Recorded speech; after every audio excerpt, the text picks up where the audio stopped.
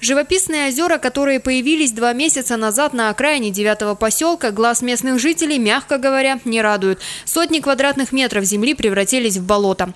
Страшно делается, что в одно прекрасное время у людей потопы бывают, стихии, а тут сами себя топим и не можем устранить. Появляться водоемы начали больше месяца назад. В этом районе идут сразу три трубы, которые подают холодную воду в разные части города из резервуаров Хакрис водоканала. На беду прогнили все, и теперь вода бьет наружу, а рядом уже размечены участки. Кто-то купил, кто-то получил их по программе в поддержку многодетных семей. Первый пострадавший от искусственного наводнения Денис Болото поступила вплотную к забору. Год назад он купил участок, причем по достаточно высокой цене. Начал строиться и в этом году получил такой сюрприз от коммунальщиков – к слову, теперь землю никто покупать здесь не хочет. Ну, в этом году поставили столбы, год ждали, поставили нам столбы. Сейчас подстанция, ее не, не подключили, к ней не подойти, не подъехать, сами видите.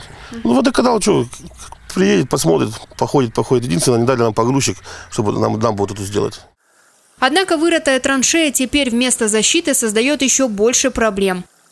Участок Дениса затопление кое-как обезопасили, а вот о том, что от этого места в 300 метрах находится школа и реабилитационный центр, не подумали. И вода с окраины девятого поселка уже наступает в центр. И это естественно, потому что от водоснабжения дома отключить не могут. Тогда можно представить, какой силы в трубах напор. Я сегодня позвонила в водоканал. Она очень грубо ответила, что не, мы знаем, нам не надо звонить. Ну это же несерьезно.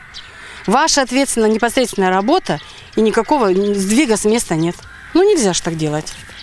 О том, что ситуация близка к ЧП, в Хакрис водоканале действительно знают. По словам специалистов, на этом участке из трех труб порыв удалось устранить только на одной.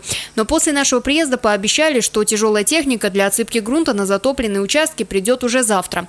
Будем вскрывать. Сначала вскрыть. Надо посмотреть состояние. Там уже либо участками ремонтировать, либо, может быть, местные. В настоящее время надо будет поменять приблизительно полтора километра.